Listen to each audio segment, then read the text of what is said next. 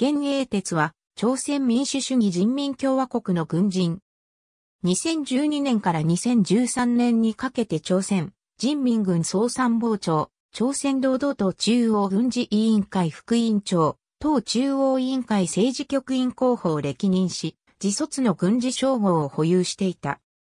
その後、大将として朝鮮民主主義人民共和国国防委員会委員、人民武力部長を務めた。北朝鮮国営メディアの報道によると、1949年1月に環境北道で生まれ、1966年3月に軍に入る。2002年、中将に昇格。2009年3月、第12期最高人民会議において大議員に選出。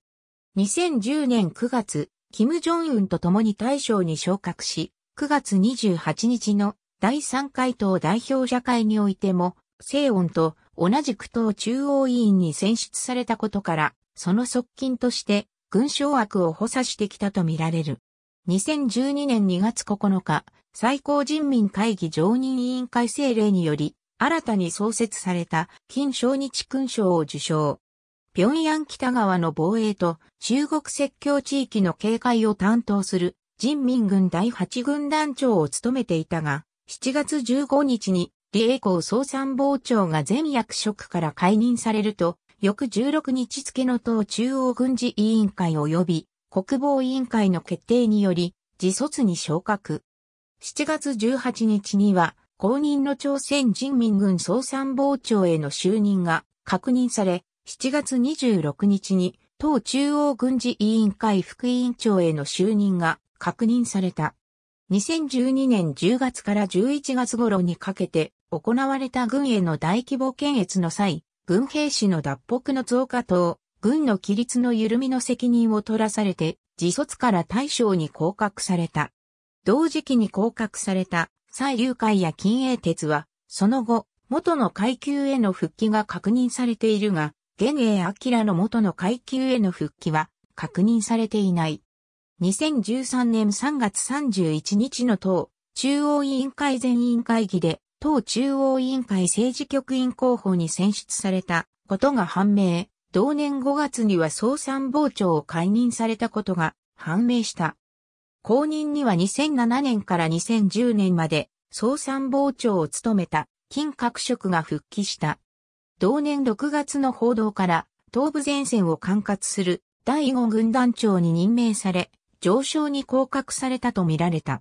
2014年6月25日、前日の24日に開催された軍民決起集会を報じる朝鮮中央放送の報道で、超正夫に代わって、現英明が人民武力部長に就任していたことが判明した。この際、現英明は大将として紹介された。同年9月25日の第13期最高人民会議第2回会議で国防委員に選出された。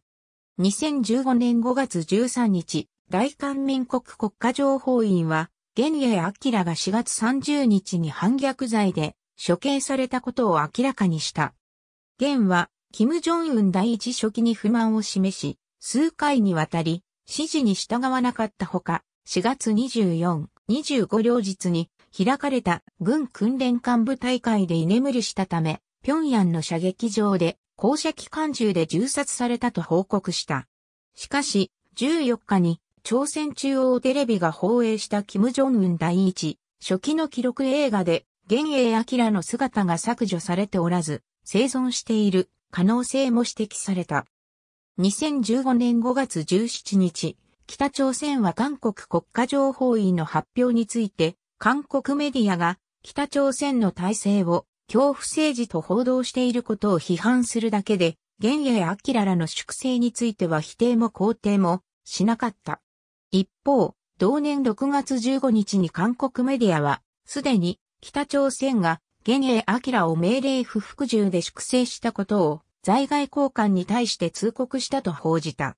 7月11日には、平壌での北朝鮮とラオスの軍関係者の席上に、僕英職が人民武力部長として参加したことが、朝鮮中央通信によって明らかにされ、少なくとも、現英明がこの時点で、人民武力部長を退いていたことが確実となり、北朝鮮が事実上粛清を認めたものと報じられた。韓国メディアは、地対空ミサイル購入交渉などでロシアとの交渉窓口だった現英明が粛清されたことは改善しつつあった北朝鮮とロシアとの関係に影響を与えていると分析した。2019年3月に行われた最高人民会議第14期大議員選挙では選出者に名前がなかったことが確認されている。ありがとうございます。